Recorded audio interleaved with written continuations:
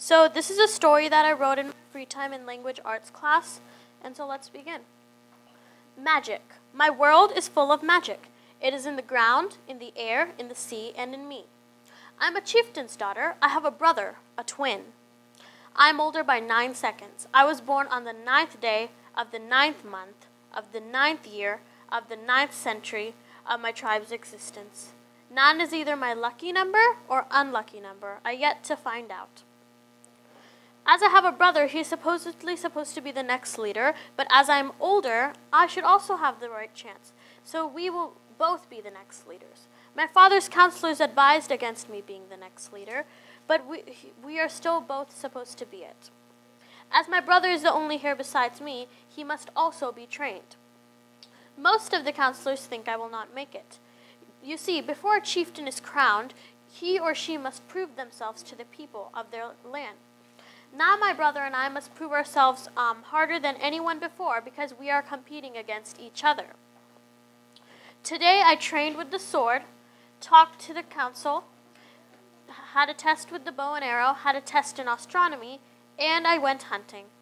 I'll admit my brother ex excels in hand to hand combat, but you do not hand to hand fight if you're hunting a leopard. You stealthily sneak up behind it. You could use magic, but, ma- but magic, animals can sense magic. If they were as civilized as humans were, they would have overthrown us a long time ago. Each aura has a different color and a different smell. For example, let's say two people have blue auras. One aura would smell like blueberries and the other would smell like the ocean. You are born with this smell and it never changes. At once, people thought that the gold and silver were the most powerful auras. My father is a gold and my mother is a silver. If they were twins, they were thought to be invincible. Now we know that there are two more powerful auras than the gold and silver. They are pure white and pure black. White represents purity and valor, while black represents evil. Now here's the surprise. My brother has a white aura and I have a black aura. And since we are twins, we are legends. The council fear when we are together.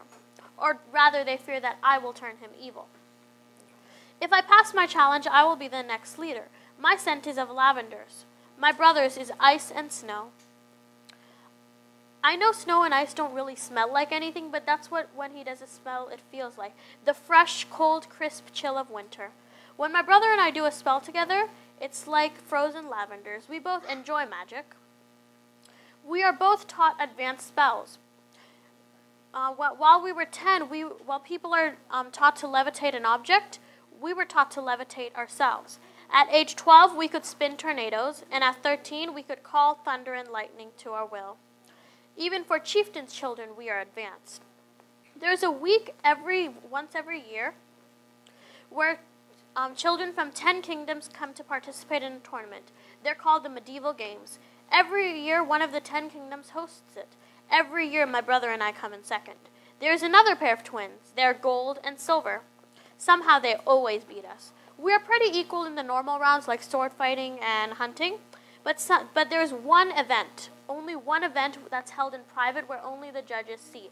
And there they must do a magic show with the spells that they learned. Somehow they always beat us in, those, in that one round. My brother and I have always gotten second place. But you see, this year it will be different.